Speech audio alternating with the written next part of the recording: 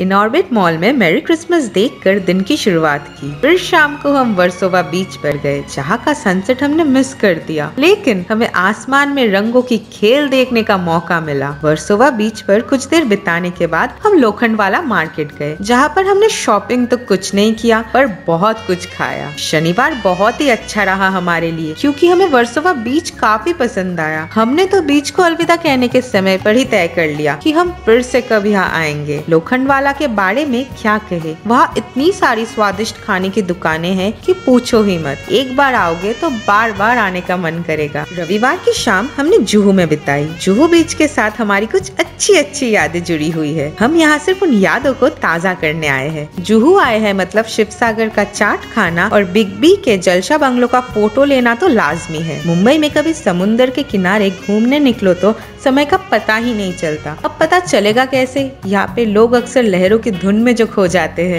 जूहू बीच को अलविदा कहकर राम जी का दर्शन करने के बाद जलसा बांग्लो देख कर हम घर लौट आए अगले दिन यानी सोमवार की शाम को हम पास ही के राम मंदिर में प्रभु श्री राम जी के दर्शन करने आए थे यहाँ आकर देखा हजारों लोग आए हुए हैं जश्न मनाया जा रहा है तो हम कैसे भला इस जश्न में शामिल न होते शनिवार से सोमवार तक का सफर हमने कर लिया है अब हमें हंसते मुस्कुराते हुए तीन दिन और बिताना है फिर उसके बाद हमारा लॉन्ग वीकेंड शुरू होने वाला है